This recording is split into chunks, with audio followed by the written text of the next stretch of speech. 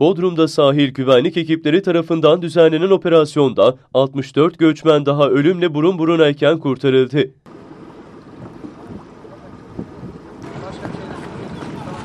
Gece saatlerinde bindikleri lastik botun motoru arızalanan kaçak göçmenler sahil güvenlik komutanlığından telefonla yardım istedi.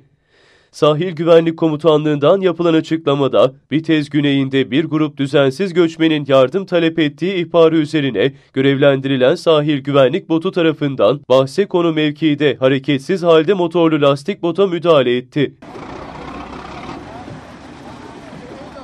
İçerisinde bulunan 45 Suriye ve 19 Afgan uyruklu olmak üzere toplam 64 düzensiz göçmen kurtarılmıştır denildi.